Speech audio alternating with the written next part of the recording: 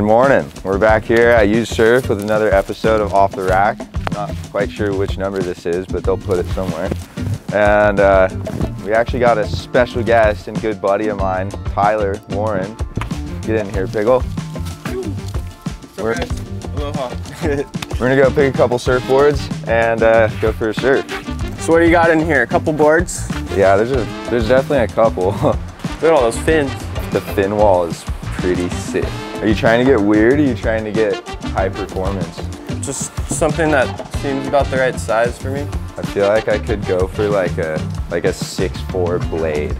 Oh, this one's sick. You should get this one. KH Day, is that your old board? Yeah. you guys should buy this. It is a fun board though. Kind of didn't want to sell it. Wow. Look at this board, Tyler. This thing's pretty cool. That's my old board. See, that's rad. Get a Grom board. Painted over the Mayhem logo. That's sick. get a Grom board? 4-4. How small of a board can you ride? Uh, Here we go. Now we're talking. This is what we're looking at.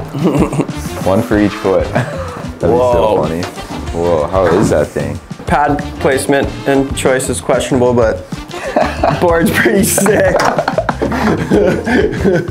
have to take that pad off before, but I don't know. I guess you get least amount of water resistance on the rail. It's pretty sick. Wow, that thing's pretty sick. Have you ever ridden a stretch? Mm, I don't know. I haven't. I've always wanted to. Dude, I've Like the tail template. I'm Definitely into wide tails. I've been kind of eyeing this thing for a little bit. It's a little Evo kind of looking thing. Yeah, it's That infinity. looks cool. It's like a It's an Infinity? punt- Yeah, it's a little punt stick. It's Like a shortboard with the nose cut off. That's pretty shreddy. kind of sick.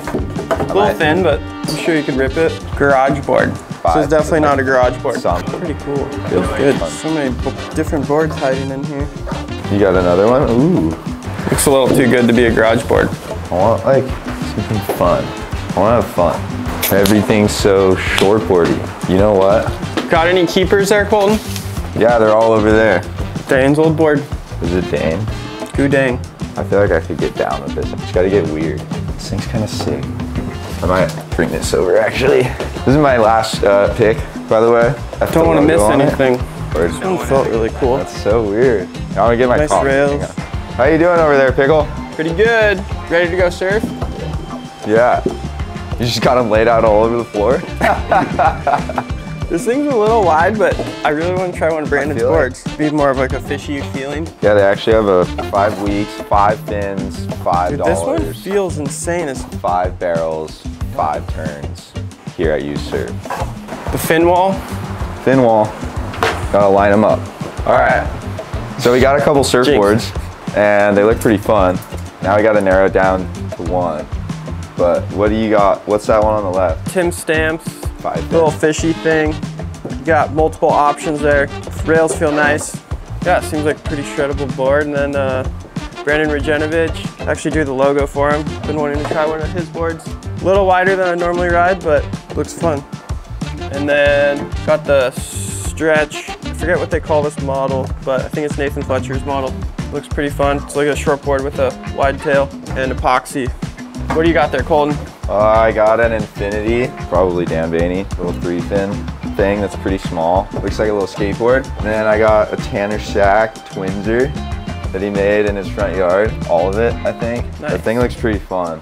Six foot. Righteous. I don't know, I was kind of eyeing it and it looks sick. I brought over a Dane Gudauskas glass in three fin, six one Noise. with a hip in it that I actually didn't even notice. But yeah, this thing looks super sick.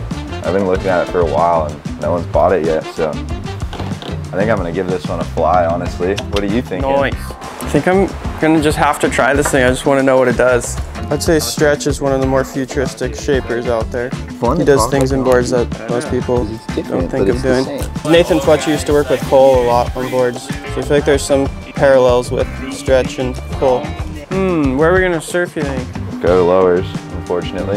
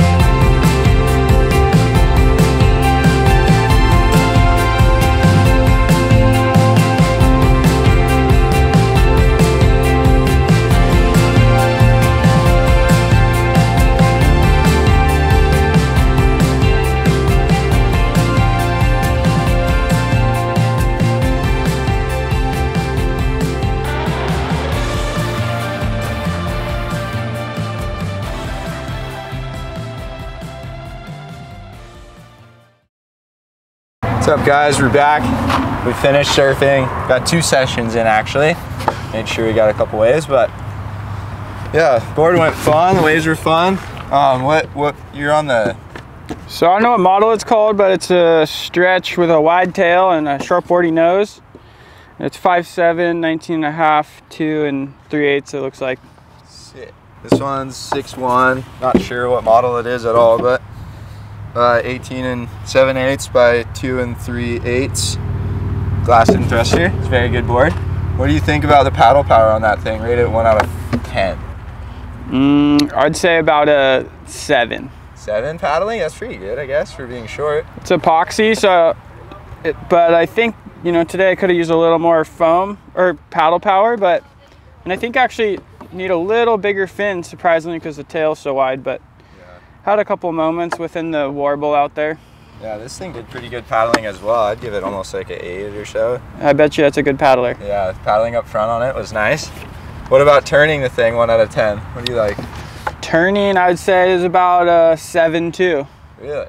Yeah, it looked like it turned well for you. It went, a, went on rail nice.